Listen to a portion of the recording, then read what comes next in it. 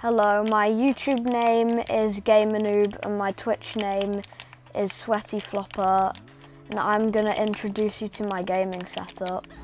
The first time I played Fortnite was in Season 3 on my dad's phone and then I used his Xbox, then my Nintendo and then it got to around Season 11 and I got a PS4. That's where, that's where it all kind of clicked. That's where found a like passion for this game. So in general, I think I have about 100 skins or a bit more. And then some of them are free, some of them are just from Battle Pass, some of them I've just bought. But the one like I've mostly stuck with is Fish Stick. And that's how I got my Twitch name, Sweaty Flopper. My gaming setup in my room now is amazing and that it's just got so much better.